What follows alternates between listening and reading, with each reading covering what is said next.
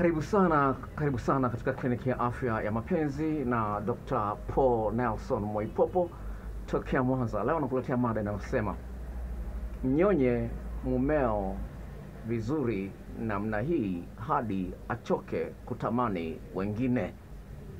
Unaweza kuona kwamba ah, hii mada ni mada tu, lakini kutokana na shuhuda mbalimbali ambazo unazipata kutoka kwa wanawake ambao wameagizia video zangu za majarida ya jinsi ya kumfanya mwanaume awe mpole kama bata, nashindwa kujizuia kuleta mada ambazo zitakusaidia kufahamu mambo mengi zaidi kuliko yale ambayo umekuwa unayafahamu.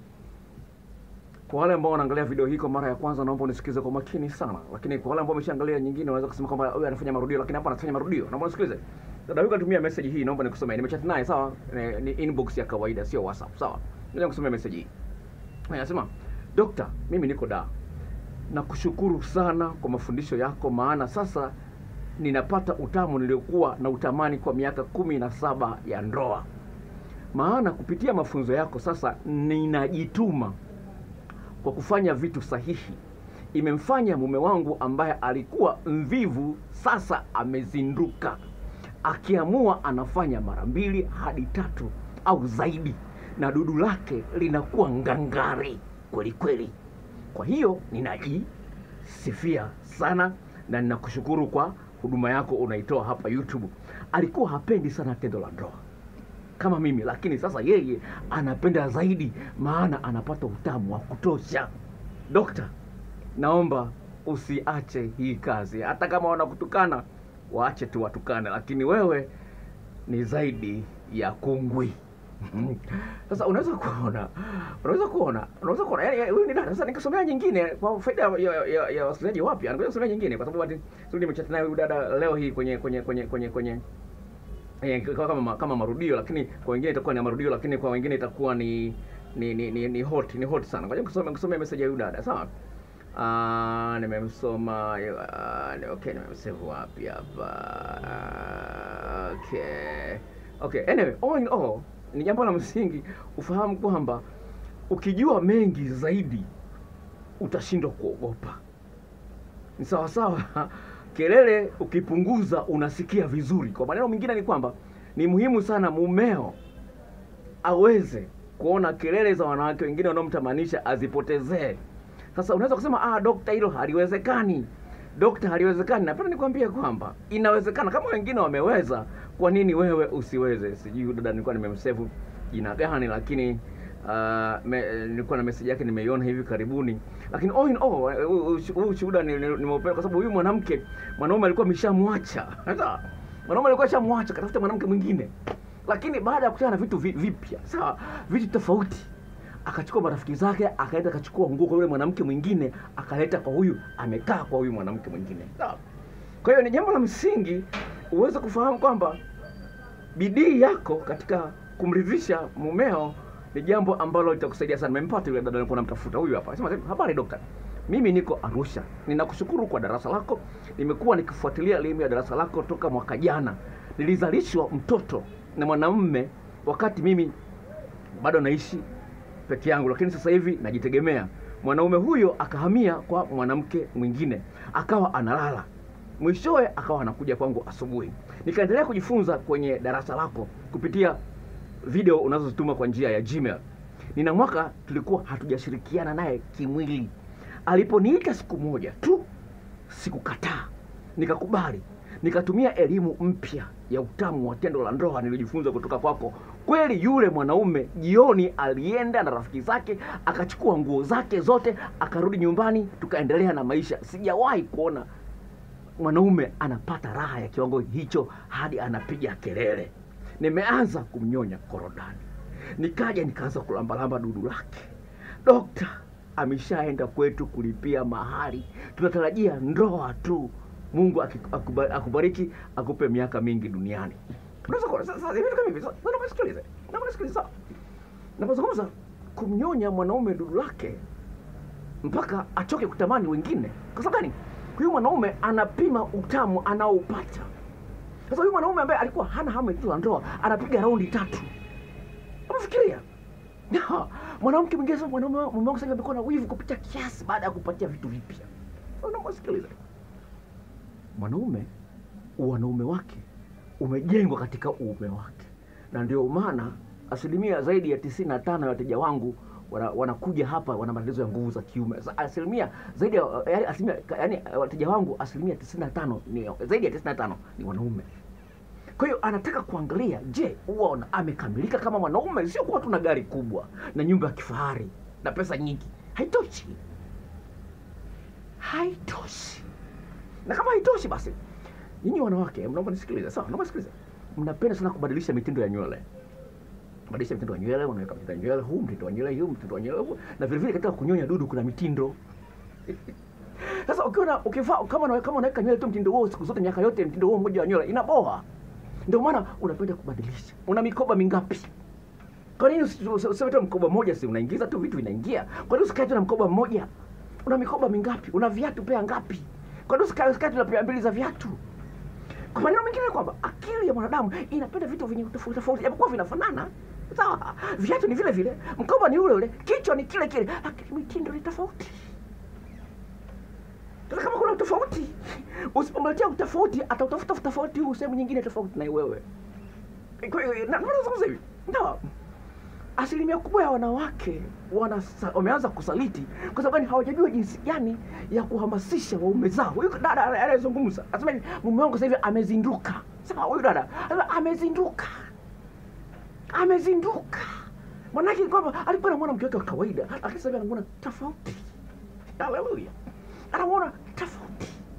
Sasa ili uonekane tofauti, lazima uwe na vitu tofauti kama vile unavyobadilisha nywele unaweka mitindo tofauti tofauti kadhalika katika eneo hilo. Sasa katika tafiti ya mada hii nimefanya research au tafiti kwa Kiswahili, na naomba nikusomee research yangu ili uweze kusaidia jinsi gani ya kumjua kumnyonya mwenzio vizuri mpaka sawa, mpaka asitamani wanawake wengine. Sikiliza, kwanza, katika hali ya kawaida mwanaume anaona kwamba mwanamke ni mtu wa kuingiliwa. Ah, kawaida mwanamke mwanaume anaona kwamba mwanamke ni mtu wa kuingiliwa. Wewe ambaye upendi kuingiliwa kwenye mdomo, wewe upendi kuingiliwa kwenye mdomo, ushauri lako naomba nisikilize. Wewe na mumeo ni mwili mmoja, upende usipende. Mungu ndiye amesema hivi, wewe na mumeo ni mwili mmoja. Na wa, wa Korinto wa kwanza sura ile ya saba, kama sio Korinto wa kwanza, Korinto wa pili sura ya saba, inasema mwili wako sio wa kwako na mwenzio, na mwili wa mwenzio sio wa kwako na hivyo hivyo. Mwanaume mwili ule sio wa kwake na mke wake, na mke wake ule mwili sio wa kwake na ndivyo Biblia inavyozungumza. Sasa nimeokoka, ndio maana nasema Biblia. siongee vitu. Biblia sio kwamba pasipo maarifa watu wanaangamia na haitabadilika milele mbingu na nchi zitapita, lakini neno la Bwana halitapita. Haleluya! Jambo la msingi ufahamu kwamba kwa hiyo wanaume akili zao zinajua kwamba mwanamke ni mtu wa anatundu ana tundu. Sasa ukishindwa kumnyonya, atakuja kinyume na maumbile na asilimia kubwa wanawake wana- wana- wana, ambao wanaume ambao wanakwenda kinyume na maumbile wanataka kutafuta utamu zaidi, utamu tofauti. Sasa anataka kutafuta utamu tofauti, ameona kwenye ngono, anataka nijaribishe, labda kuna utamu kweli. Sasa wewe usipompa utamu tofauti kwenye kumnyonya dudu lake, itakula kwako atatamani ingie huko kwa sababu ah, nature mwanamke ni kuwa penetrated. Sasa wewe sema unalosema, nitukane, niambie lilidini, wewe sema unalosema, lakini napenda kupa akili ya mwanaume ilivyo na jinsi gani ya kuikamata. Na haleluya, jinsi gani ya kuikamata akili ya mwanaume na kukupa vitu sawa. Kwa hiyo hilo jambo la ulifahamu. Sasa kuna mambo mawili, kuna wanawake wa aina tatu sawa. Kuna wanawake wa aina tatu sawa, wanaopenda kunyonya dudu la mwanaume na wanafurahia kupenda kunyonya dudu la wanaume. Wao wapo wapo na wao wanaanzisha wao wenyewe bila kuombwa. Wengine huu ambao kuna kundi la pili ni wale ambao wako tayari kunyonya, lakini mpaka waombwe. Kundi la tatu hawataki, hata ukimwambia hataki. Sijui wako kwenye kundi gani, lakini napenda kuambia hivi, jifunze kupenda kunyonya dudu la mwanaume. Usiniambie sijui na kinyaa, sijui na usiniambie. Sawa, sawa, sawa, sawa, sawa. Mwanaume mmoja akasemaje? Hmm. Eh, Sasa hivi, mwanaume akasema when a woman thinks sucking you is like going through her back door, she'll be uncomfortable to do it even though they feel obliged to do it.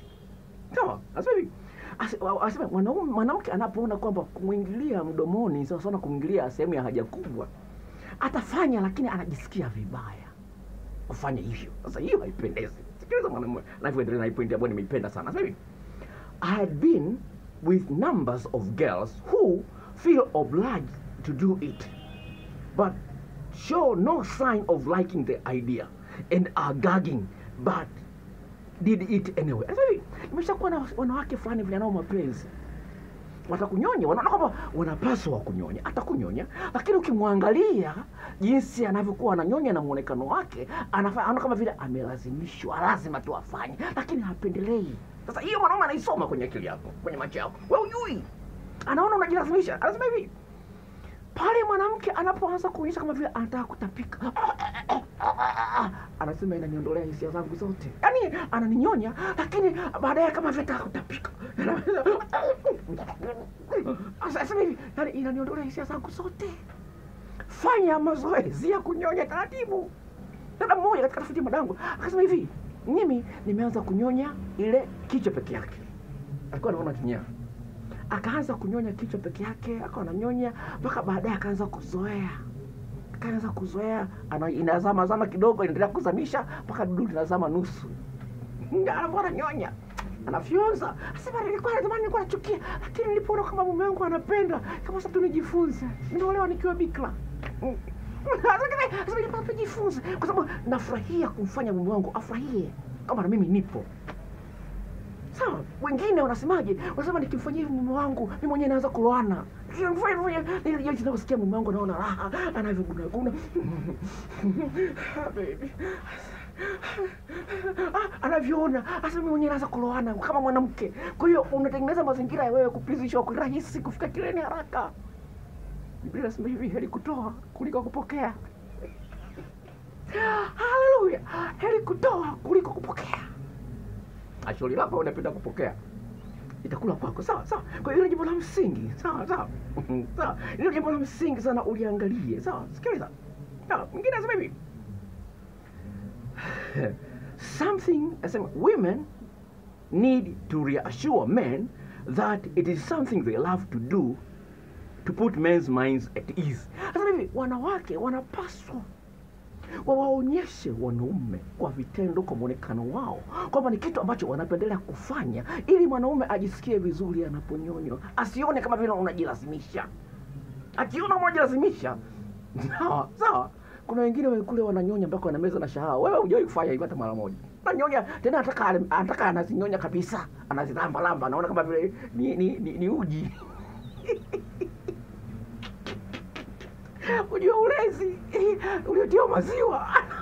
Anaongea mpaka analabra sawa. Hazina hazina hazina madhara. Sawa akikupizia mdomoni usilie sana. Kwamba oh nimekunywa sumu. Ah sio sumu bwana.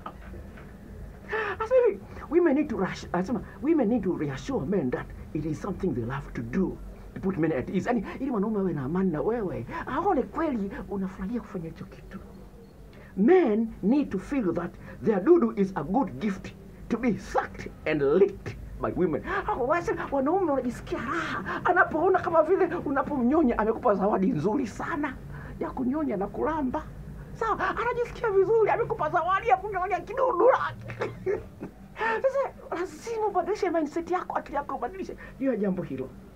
Sawa sawa, hilo jambo la msingi, ulijua kwamba unapaswa ubadilishe mtazamo wako, nyonya mwenzio kama nilivyozungumza, mada inasema kwamba umnyonye mwenzio mpaka asitamani, achoke kutamani wanawake wengine.